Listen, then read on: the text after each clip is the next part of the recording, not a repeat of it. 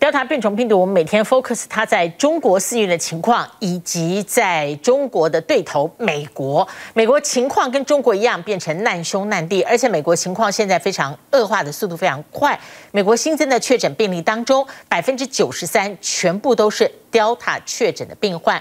而拜登政府提升防疫，还是靠疫苗跟口罩。这个星期，美国国防部要对现役部队发布强制注射令，白宫考虑对入境的外国旅客要求一定要接种完两剂。完整接种才准入境。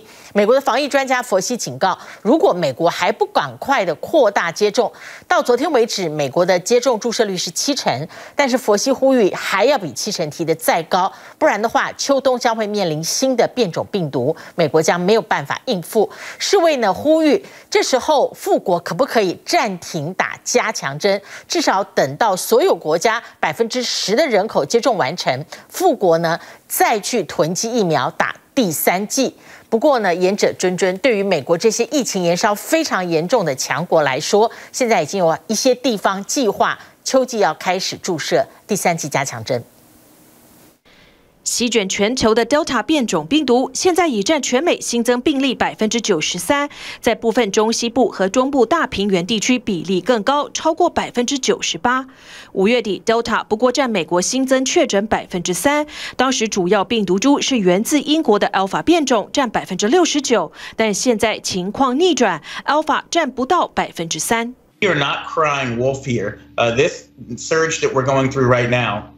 has every potential to be and already looks to be the worst surge we faced so far.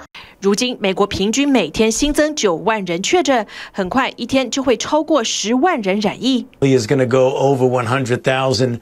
I hope it doesn't go much higher than around the hundred thousand, but we wanted to turn around quickly and come down. 目前疫情最惨重的路易斯安那、佛罗里达、阿肯色、密西西比和阿拉巴马，过去一周每天每十万人新增五十例以上，全美近五万六千人因新冠肺炎住院，一天就增加百分之十。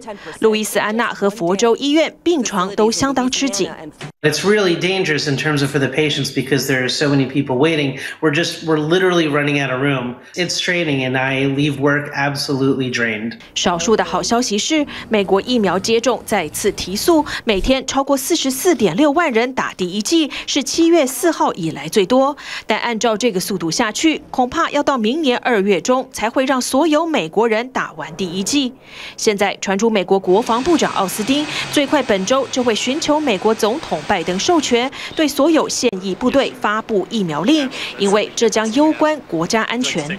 We have at least 70% of, of the force that's gotten at least uh, you know one dose of the of the vaccine. We're going to continue to push push hard to uh, ensure that we're making the vaccine available to to the force. 目前，美国军方约一半完成接种，当中海军因去年航空母舰爆发群染，完整接种率最高达百分之七十三。原本五角大厦有意等美国食品药物管理局通过疫苗完整药证后，再加入军方强制接种的疫苗名单，避免不必要的争议。但在拜登政府扩大施打的压力下，将会提前实施。白宫也同时严拟，未来解除旅游限制后，将要求几乎所有入境美国的外国旅客必须完整接种疫苗。WHO 世界卫生组织则呼吁，富裕国家暂停施打加强针。WHO is calling for a moratorium on boosters until at least the end of September to enable at least 10% of the population of every country to be vaccinated. 全球疫苗分配不均，富国穷国之间差距大。八十八国完整接种率不到百分之十，至少四十国不到百分之二，台湾也是其一。目前北美洲接种率最高，欧洲次之，再来是拉丁美洲、亚洲、非洲垫底。不过白宫发言人表示，美国准备好提供部分美国人打加强针，但也能继续捐赠疫苗。We announced just yesterday that we hit an important milestone of over 110 million vaccines donated to the world. So we've taken action on the global level uh, far more than any country around the world. We're asking the global community to also step up.